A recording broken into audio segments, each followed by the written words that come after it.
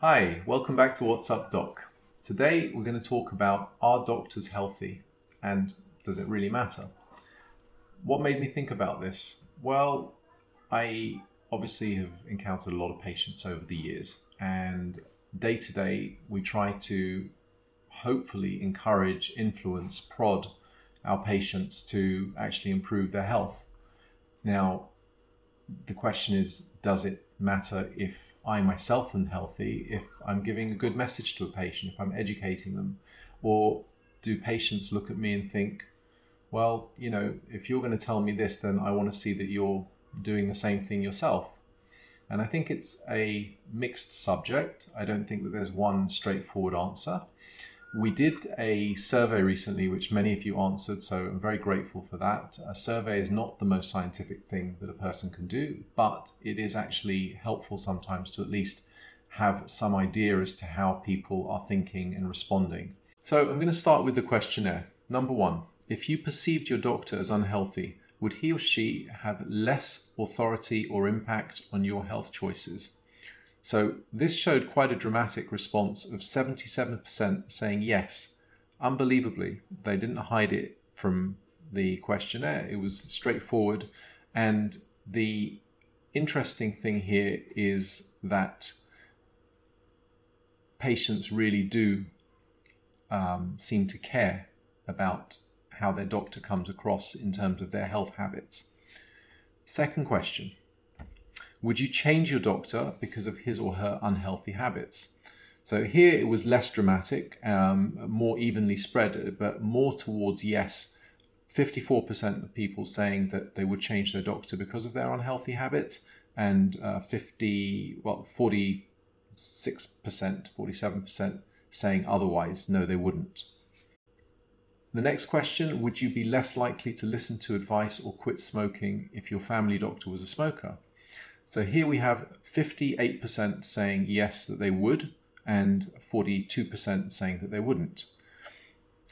This is also interesting because obviously there is some effect that occurs from whether a doctor smokes or not and the patient's perception how these patients actually knew the doctor smokes, it doesn't. We didn't ask that, but the assumption is just the very fact that they somehow know this about their doctor. Maybe they're sitting there with a pack of cigarettes in their shirt, or they can smell smoke on them. I don't think it matters, but the point is that the perception is there. And the last question would you be less likely to listen or take seriously advice from your family doctor about weight loss if he or she were overweight? So the answers to this question says actually yes, they would be less likely. So that's with 58% versus 42% who say that they wouldn't be. Now, there was actually a study in Nature, which is probably the world's most prestigious scientific journal, in which this question was raised.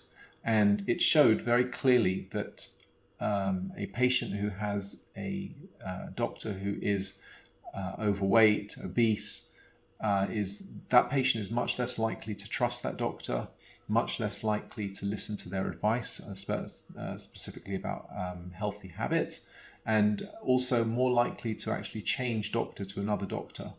And this is actually interesting because it's also irrespective of whether the patient themselves is a healthy weight. So you could have a patient who is quite overweight, and just because the doctor is also they have the same tendencies towards listening to what that doctor has to say and also whether they stay with this doctor or whether they switch doctors.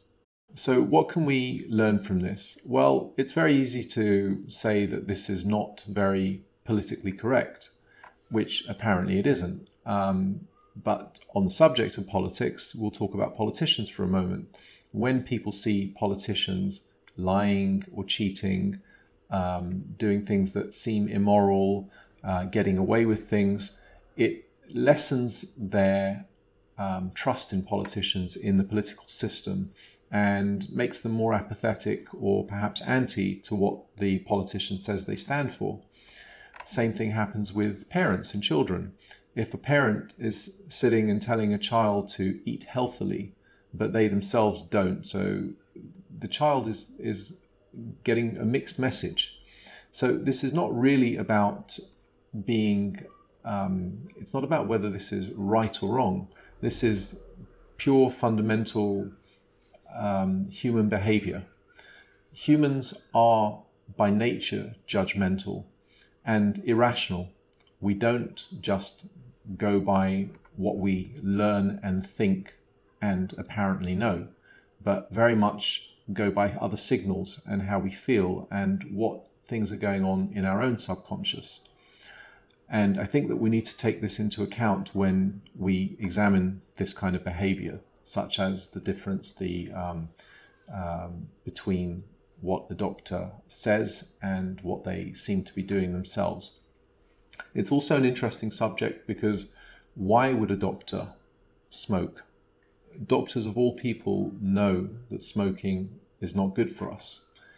We know the risks and we should know them better than most people. So, why does it happen? Well, there is obviously this subject known as cognitive dissonance, which means that a person may know something, they may have all the facts in front of them, but they can behave in a way that seems completely disconnected from what they know.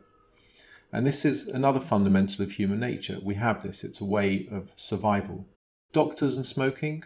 Well, in Italy a few years ago, a study was done that showed unbelievably that doctors smoked about twice as much as the general population. So we're talking at numbers of 40% of doctors smoking versus 20% of the general population. In many other countries in the West, this is actually completely the opposite. Doctors smoke a lot less than the rest of the population. I'm bringing up the example of Italy because it's an example of how, even with education, it's not enough to change a habit. And we need to find societal incentives. We need to look at the underlying reasons why people don't look after their health, especially doctors who you think would look after their health. And we have to consider this overall when we plan and run a health system. To get to the subject of doctors, and this is certainly no excuse, but training as a doctor is really a rigorous, straining, arduous journey that goes on for many years.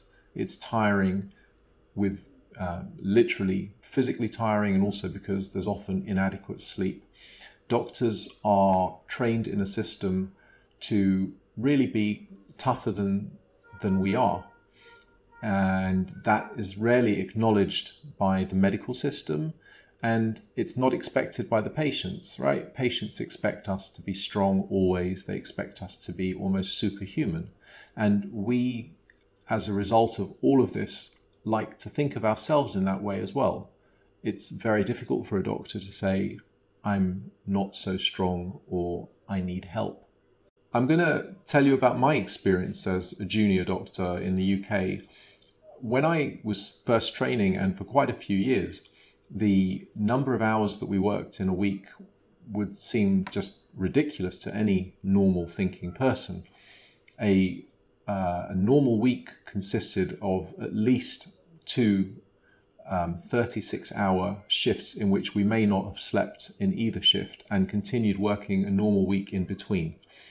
Every third week or so, we were working uh, a weekend as well, and the weekend started on Saturday morning at 8 a.m. and finished at Monday evening at 6 p.m.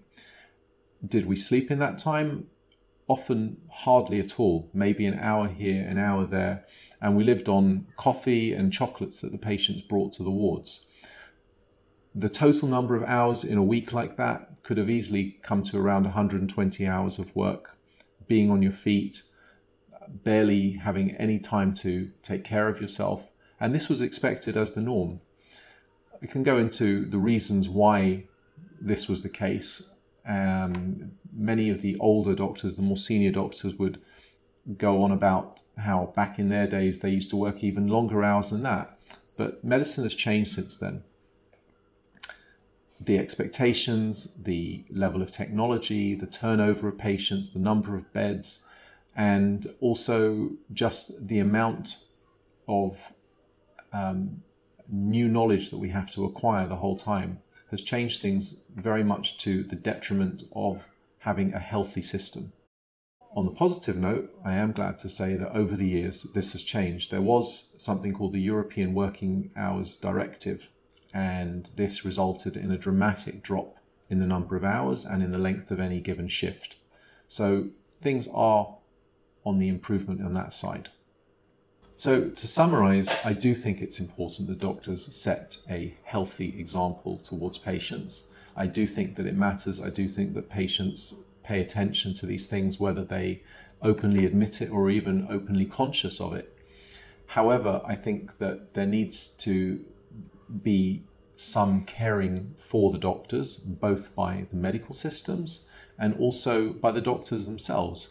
I think that doctors need to find ways to get into healthy habits, whether it be eating healthily, not smoking, keeping alcohol to an absolute minimum, if any at all, um, sleeping enough, and also maintaining good relationships. And this is a lot to balance with a career as a doctor, I can tell you that. The other thing to say is that there perhaps should come up the subject of what psychological supervision doctors have. And this is something that I think I'll talk about in another video at a later date. So, what do you think? I'd love to see you write some comments down below. I'd love to respond to those comments as I have done so for many of my other videos. And I look forward to seeing you back here at What's Up Doc again soon.